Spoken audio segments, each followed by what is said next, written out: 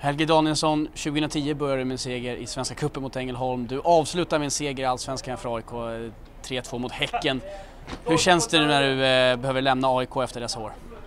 Uh, nej, det känns, känns såklart inte, inte optimalt nu mitt i säsongen. Men speciellt nu när vi ligger riktigt bra till i, i tabellen. Så det, det, är lite surt att inte få ja, spela, spela klart den här säsongen som jag tycker vi har en riktigt bra chans nu. Men samtidigt är det jättespännande tider fram, ja, som, tar, eller som ja, väntar mig nu i, i Portugal. Och en spännande liga och, och, en riktigt bra utmaning så det, det blir härligt också.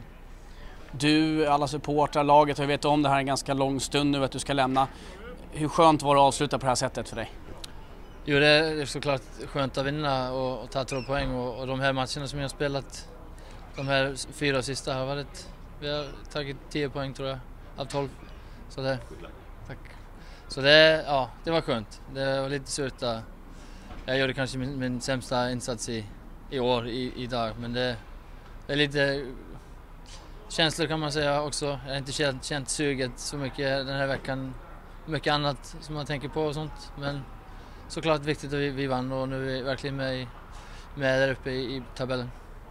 Efter matchen så hyllas du med banderoll och sång av supportrarna.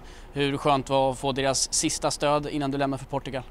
Nej, det är klart alltid kul att lämna på, på bra villkor, på, på, ja, på ett bra sätt. Och, ja, min, eh, mitt förhållande med, med fansen har blivit bättre och bättre och speciellt i år när det har varit klart nästan när jag, jag ska lämna. Då har de visat verkligen bra stöd och, och, ja, och det har hjälpt till. Jag har fått spela och jag har fått självförtroende. Och, det känns, känns bra det här året som, som kanske hade gått, kunnat vara riktigt tungt. Men, men det har blivit eh, eh, ja, en, en bra, lite över en halv säsong. Så nej, nej, de har verkligen hjälpt till. Hej Danielsson, känns som att AIK just nu, eller AIK är just nu det formstarkaste laget i Allsvenskan. Är vi det bästa laget och eftersom att du inte kommer spela tyvärr eh, resten av säsongen, hur långt går AIK 2013?